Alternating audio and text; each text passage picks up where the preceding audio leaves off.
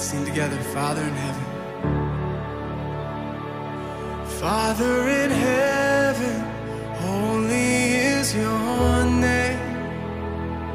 Your kingdom come, your will be done on earth as it is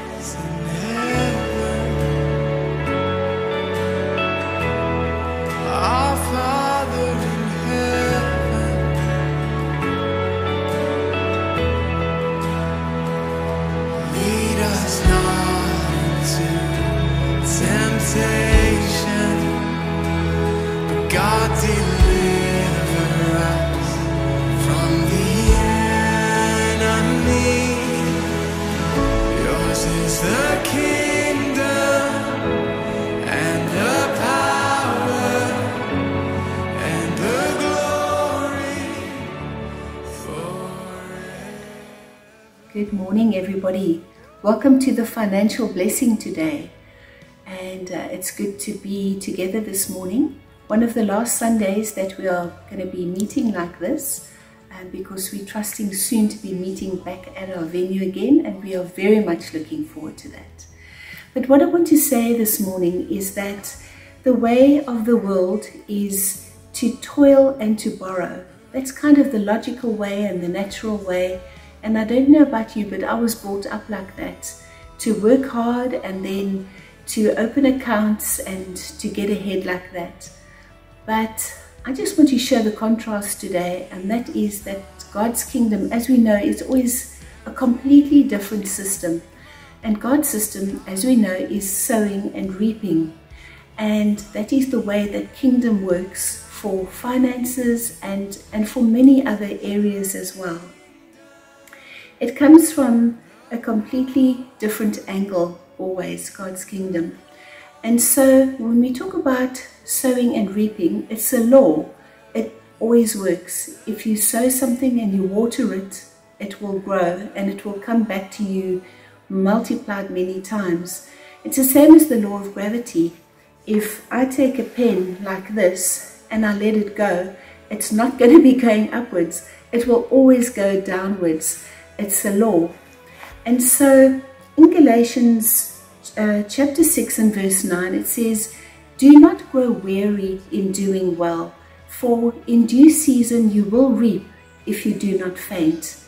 And I want to encourage us today not to grow weary. It has been a time of great testing for all of us. But I want to say, don't grow weary in doing well.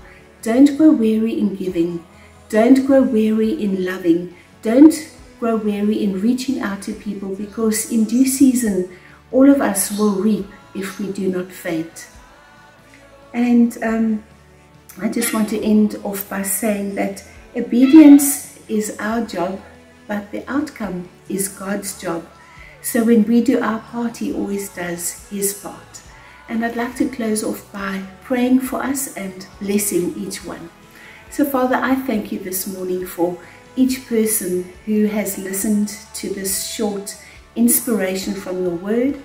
And I bless each one this morning in the name of Jesus. We thank you that the blessing of God and the words that we speak are powerful to establish things that don't even exist yet.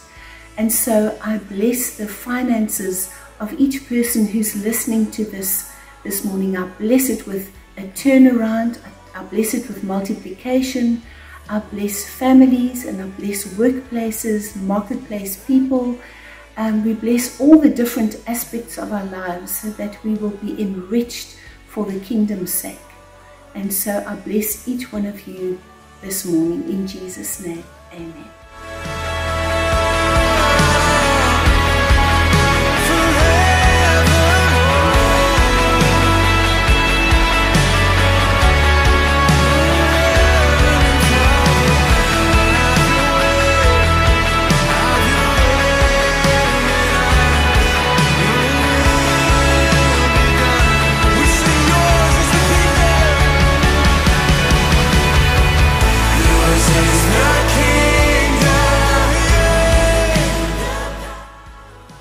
Morning, everybody. My name is Pastor Mark Clifford, and I serve on the eldership team at, in Kingsgate Fellowship in Cape Town.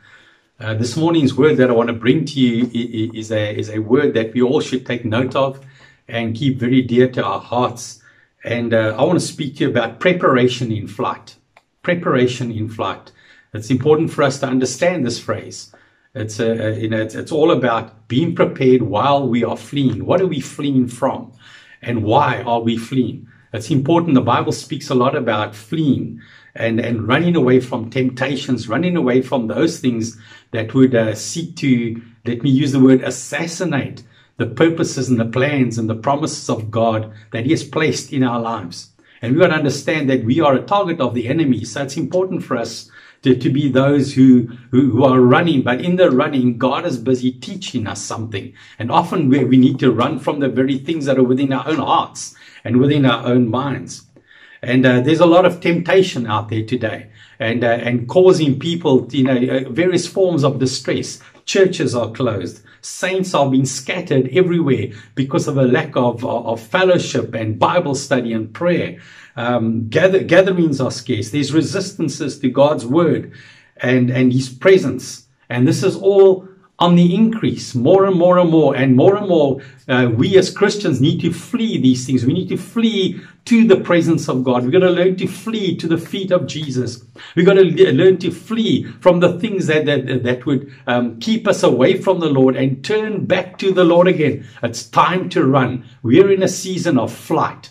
But in but but in fleeing, we gotta we gotta know that God is also preparing us for greater things. In 1 Samuel chapter 19 and verses 9 through to 12, we, we read about the story of David. David had been anointed king of Israel, the future king. God had rejected Saul because of his rebellious ways. And there, and the Bible says, and a distressing spirit from the Lord had come upon King Saul. Now, picking it up from verse 9, it says, Now the distressing Paul, uh, uh, spirit from the Lord came upon Saul as he sat in his house with his spear in his hand. And David was playing music with his hand. Then Saul sought to pin David to the wall with the, with, uh, with the spear, but he slipped away from Saul's presence and he drove the, the spear into the wall. So David fled and escaped that night. Saul also sent messengers to David's house to watch him and to kill him in the morning. And Michal, David, David's wife, told him, saying, If you do not save your life tonight, tomorrow you will be killed. So Michal uh, let David down through a window and he went and fled and escaped. So yeah, David had to run from King Saul. And you notice that David was observant because he saw King Saul sitting there with his spear in his hand. So as he was playing his harp and singing, he was ready to run because he knew there was an intention. He must have discerned that. And it's very important for us to discern what's in front of us. What are we fellowshipping with? What are we engaging with? And we've got to be ready to run when this uh, this situation turns against us. When this thing, so when this situation seems to be overwhelming. You see, fleeing is part of pursuing the promises of God. Fleeing is part of pursuing the promises of God. We've got to know where our hope lies. We've got to know where our, who our source is. We've got to know who to run to. Where, where we are to flee to, and that is to the, flee, the, the feet of God the Father, to the place of hope, to the place where we, where we will regain our strength. Why are we to, uh, to flee? To preserve and guard our salvation and the very promises of God. We are to flee those things that we are facing that are not part of the kingdom of God. We're to learn to run from these things because they're out to destroy our souls. They're out there to destroy the calling that God has put upon our lives. The, the, these things are out to, to, to destroy the anointing of, of God upon us. And we've got to learn to guard what God has given us and to run. Here's a few examples in Genesis. We read how, jo- how Joseph fled from Potiphar's wife. And later, he was restored as president of Egypt. So there was a destiny to be guarded. In Exodus, we read how Moses fled from Egypt and returned later as a mighty deliverer. So there was a purpose of God in him, and circumstances caused him to flee from Egypt, but later to return. Can you imagine if Joseph or Moses never fled? There would have been great disaster happening. What about Mary and Joseph? They had to flee from Herod to, to Egypt, later to return to deliver God's gift of salvation, that is Jesus Christ our Lord, to Israel and the rest of mankind. So yeah, even they were they were warned to flee in order that preparation could be made to bring him back again, to bring Jesus back again, in order that he may bring salvation to mankind. So while in flight, these were by faith pursuing the hope they had in God, the hope that was set before him, the hope that God had placed in the world, in order that deliverance, salvation, and, and, and all kinds of blessing might flow. When we begin to get the picture of that, who knows what God has purposed for each one of us as we consider this message? There were assassination, assassination attempts against their destinies in God. So we're going to be looking at the life of David as he fled from King Saul and the life lessons he learnt along the way. And how critical it was for him to learn these lessons if he were to reign as king. He had to deal with rejection, He had to deal with anger and bitterness. Why am I being pursued? Why does the king not love me? He had to deal with resentment, with retaliation. I mean, David was a, you know, he, was a guy that could kill a lion and a bear. And suddenly now this guy was coming up against him, you know, with a spear. He had to deal with retaliation. He had to deal with military uh, uh pride and ambition with the cries of, of the young ladies in his ears, you know, saying Saul has killed his thousands, but David is 10,000. So he had to deal with that. And God had to unwind David and undo him. And David had to learn to pursue the Lord instead of pursuing his own ambitions.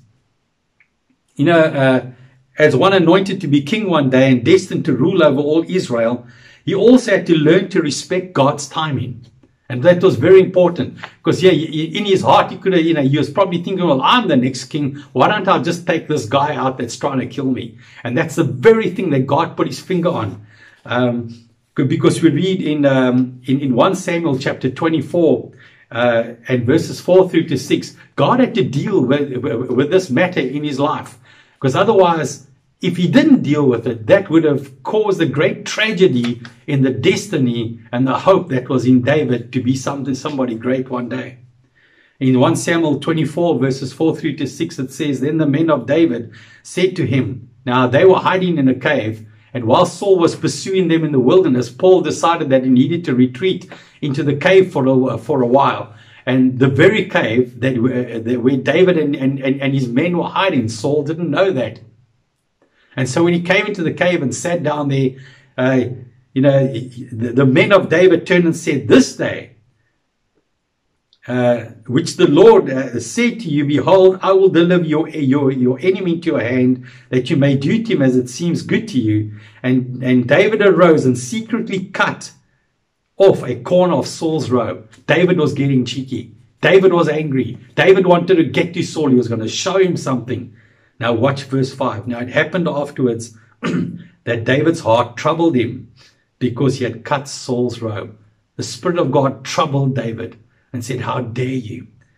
And then he said to his men, The Lord forbid that I should do this thing to my master, the Lord's anointed, to stretch out my hand against him, seeing he is the anointed of the Lord. And so David learned a lesson there. Do not touch God's anointed. Don't try and preempt the timing of God. Do not try and push things, David. You see, in his pursuit, he had to learn the lessons of God. And when we are running from temptations, God is busy dealing with our hearts, renewing our minds. Because believe me, that temptation is going to come back again. Because that's exactly what happened. Because in chapter 25, we read uh, a, a very similar. Uh, a, a, very similar account, or rather, tw- chapter 26, not chapter 25. It says there again, the temptation came David's way. Again, it came his way.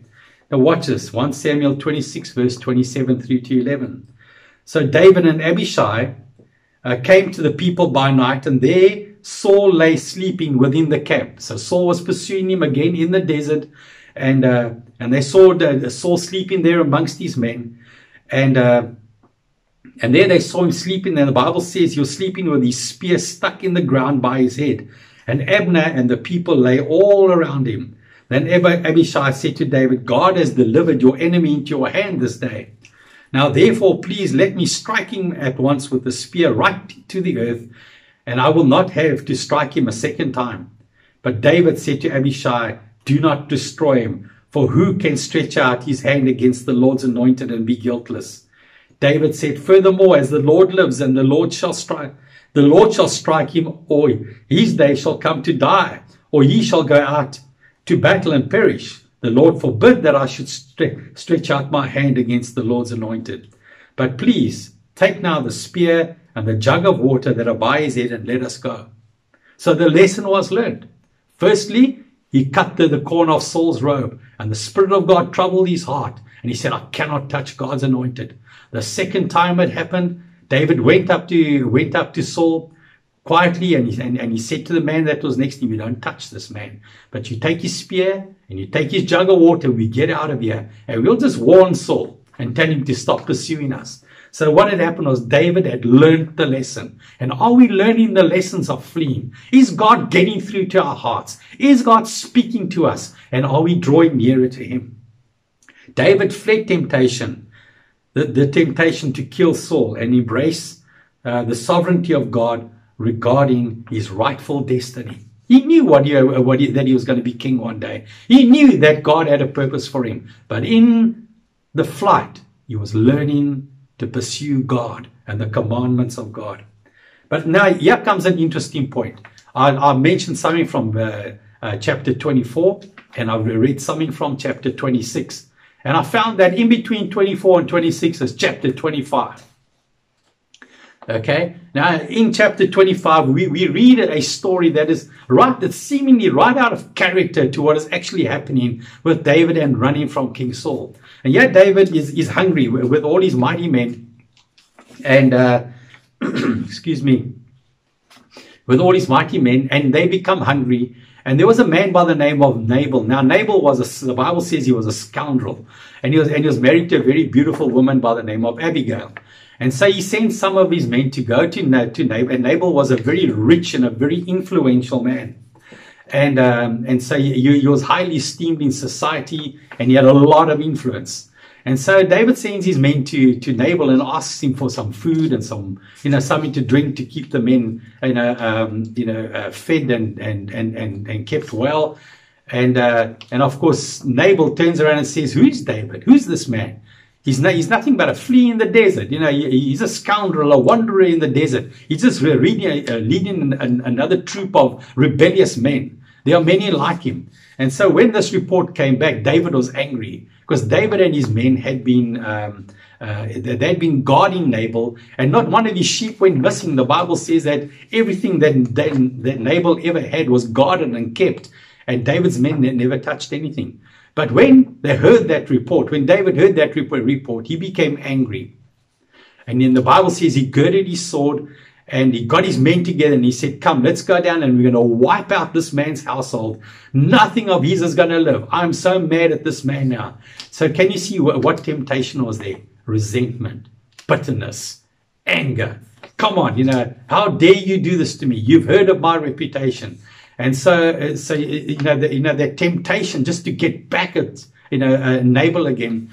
Now, so, so, so gets his men and they, and they start marching onto Nabal's uh, property and, and, and, into his, and, and towards his house.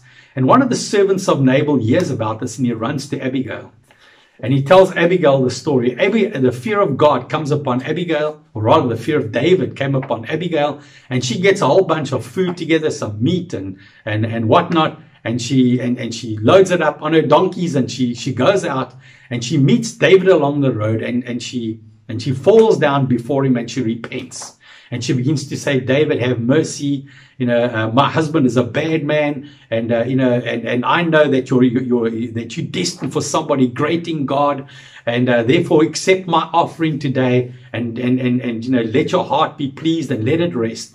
And the Bible says that David relented and, and David accept the offering. And, you know, when we begin to, uh, uh, when we when we begin to look at these things, uh, we, we, begin to understand a few things. That if David had carried out carried out his intention, if he had carried out and and uh, and and uh, you know, uh, sought to kill Nabal and he got it right and he slaughtered everything, he would have he would have done damage to his destiny in God. All right. Um, if if he went out and and uh, and uh, and and killed Nabal, who was a very influential man, he would have been labeled a, a rebellious, murderous king, and he would have probably lost his throne. And how many times haven't people lost out in their destinies in God? Or perhaps they, they, they've stayed the blessings of God in their life purely by the attitude that, that, that they displayed rather than, than succumbing you know, to, to, to, to what God is trying to get, get, the lesson that God is trying to teach them in their lives. So what do we see here? What do we see out of this whole incident between Nabal and Abigail and David? Well, Abigail is actually the person that we're trying to get at. Nabal represents the nature of man, that, that, that selfish nature. David is angry, and so there's a retaliation, a clash coming. But there's Abigail, the one who comes and brings mercy, the one who comes to intercede, the one who comes to plead.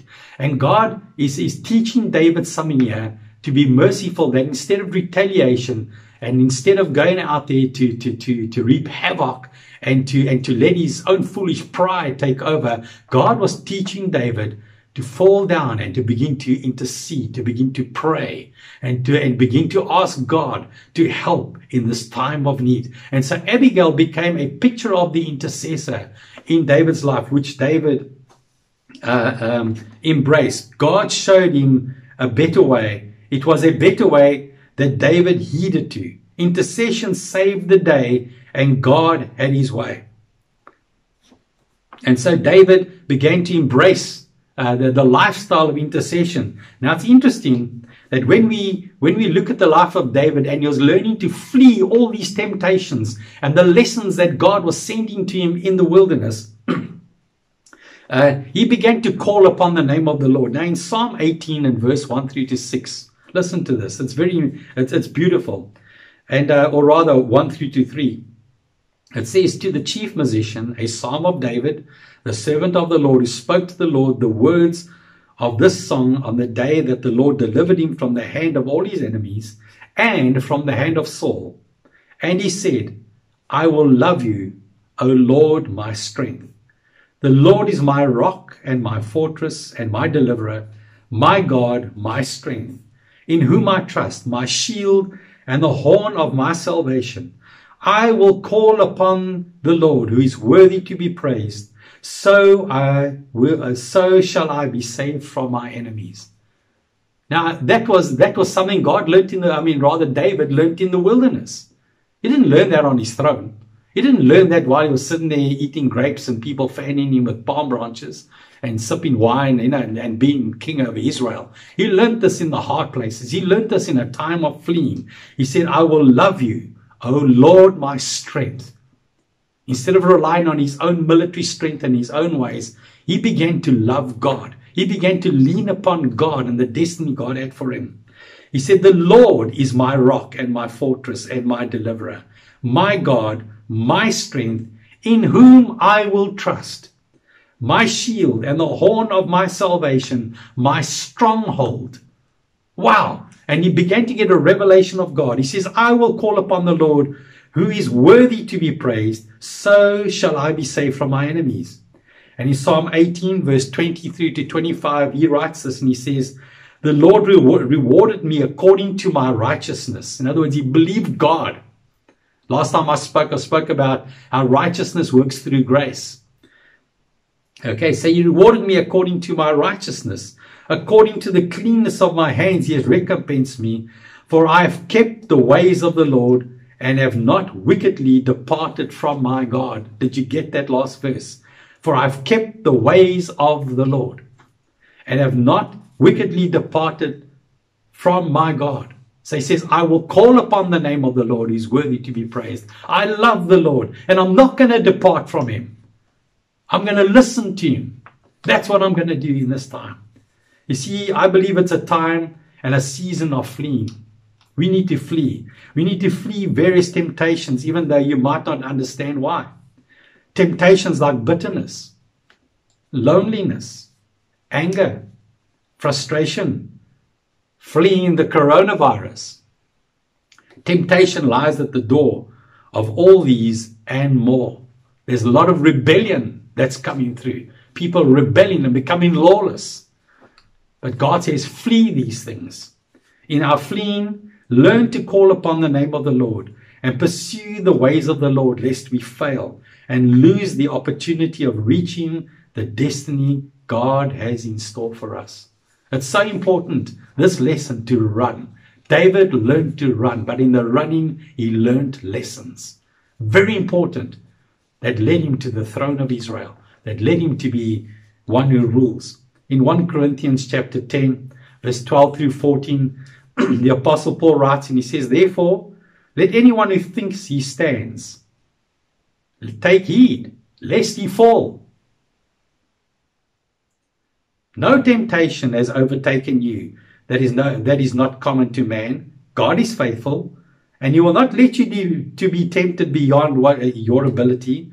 But with the temptation, he will also provide the way of escape, that you may be able to endure it. Therefore, my beloved, flee. Flee. Wow. Yeah, even Paul, he said, run from things, from temptations that come away. They come, they come upon you because God will make a way of escape. God will make a way where there seems to be no way. I believe that temptations are allowed in our lives to train us to reign. I'll say that again. I believe temptations are allowed in our lives to train us to reign. Because why? They expose the things that are in our hearts. And they expose the attitudes that are that hide that, that hide there lying dormant there. They expose those things that God may help us to deal with them, that we may flee from them and embrace the commandments and the promises of God in order that we may reign with Him one day, that the Holy Spirit may have a resting place in our lives.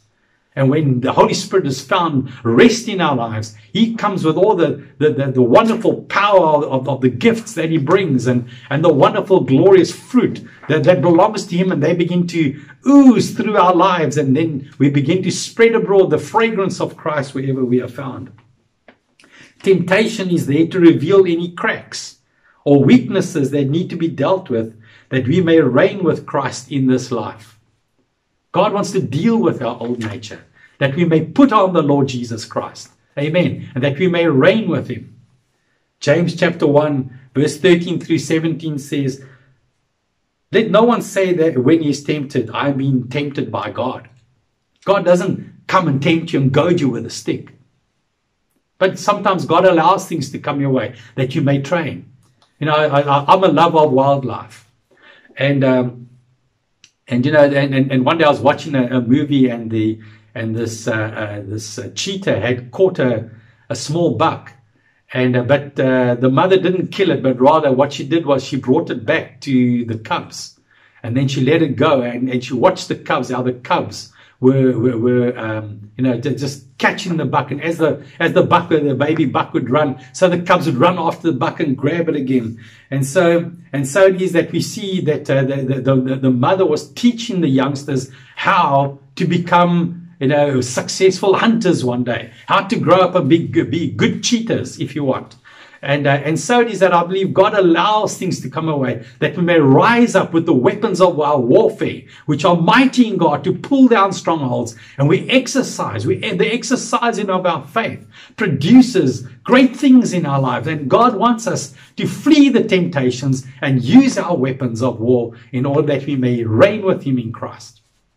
So we're going to learn to run from the things that are not of the kingdom of God and pursue the things that are of the kingdom of God and learn the lessons. And so in our fleeing, we are learning. Praise God. And so the Bible says, let no one say when he is tempted, I've been tempted by God. For God cannot be tempted with evil. And he himself, he himself tempts no one. But each one is tempted when he is lured and enticed by his own desire. Rather than running yeah, it says there you are tempted when you are lured and enticed by your own desire. So you're drawn in, and we're going to learn to run away. We've got to pull away from that thing and say, I'm not doing that. or get into some warfare and be, begin to use the word of God and begin to change your mindset and rebuke the devil that he might that he may flee from you. It says in verse 15, then desire when it is conceived gives birth to sin, and sin when it is fully grown brings forth death. And that's the sad part. Many Christians are dying spiritually, or their hearts have become hard because of sin. People, it's time for us to, re- to return to the feet of Jesus. It's time for us to begin to call upon the name of the Lord. It's time for us to take out the weapons of our warfare, which are mighty in God, and begin to use them. Verse 16 says, Do not be deceived, my, my beloved brothers. Every good gift and every perfect gift is from above, coming down from the Father of, lights, with whom there is no variation or um, shadow of turning. So remember the story and the examples of the ones I have mentioned. Remember Joseph, he ran. Remember Moses, Moses, he fled. Remember Joseph and Mary, they were warned to flee. But you know, when each one returned, Joseph came back as president. Moses came back as a mighty deliverer. Jesus came back and he, and he grew in stature with God and, and with man. And you know, and, and he was found amongst the people and he became the redeemer of the world, our savior, our Lord, our, our God. And so God is teaching us the same lessons to run, to run, to flee temptations in order that we may return having learned to reign with Christ and to have great ministries and then to be great witnesses to God on the earth. So remember each one of them that, that I've mentioned to you this morning. In their fleeing, they encountered God and found in some cases and, and found in some cases an, an unexpected destiny in him. Just listen to that. In their fleeing, they encountered God and found, in some cases, an unexpected destiny in him. And I'm thinking of Moses. Yeah, Moses, all right, he he saw two two Hebrew men having a big fight and he went there and or, or no, rather he, uh, uh, just before that uh, he saw an Egyptian beating one of the Hebrew men and uh, he went up there and he stopped him and he ended up killing him. And of course, you know, he uh, he, he, got, he went and he hit the body but then later on, he saw two Hebrew men fighting and he went to stop them fighting. They said, Hey, you're the guy that killed that Egyptian. You know, you, you need to tell us what to do. And that just put a fear, put a fear in him, which caused him to flee. But you know something? He fled, but in fleeing, he met God. In fleeing, he met God. You see, because he could have rose up and said, Well, you know, I'm a prince of Egypt. And then, he, you know, he, he could have, you know, his own foolish pride could have got in the way and, and, and he could have defended himself and probably got away with it. And, and then even those two men had them cast into prison because he had power to do that. But you know, he didn't. He fled, he ran. But it was part of God's plan for him to run in order that he might meet God. But when he met God, he had an unexpected destiny. And he came back as a mighty deliverer. I mean, can you imagine that? That God's got destiny for you? That one day you're going to stand at table bay and stretch out your hand and the sea parts. it's an incredible thought to have. But you know something? I'll mention that foolishly. I'm jesting. But you know something? God has got things in store for us that the eye has not seen, nor the ear heard, nor has entered into the heart of man. Things that He has prepared for you. Amen. Because He loves you and he wants you to run, he wants you to flee. So fleeing is part of pursuing the purposes of God. Fleeing is part of pursuing the purposes of God. And God, in his love and in his mercy, will always bring you back to that path that he has destined for you. So cast your burdens unto the Lord. Trust in the Lord with all of your heart and with all of your soul. Lean not on, on your own understanding. In all your ways, acknowledge him and He will direct your path. He will. Because He who has promised is faithful. And you'll, and you'll bring you out on the other side victorious, powerful. The Bible says, though you walk through the waters, you will not drown. Though you go through the fire, you will not burn. For, for behold, I am with you, says the Lord. I am with you. So may God bless you as you take courage to run from temptation, as you put your faith in Him and you learn the lessons and take up your cross and follow Him. God bless you today And may the Lord be with you. May the anointing of the Holy Ghost come upon you.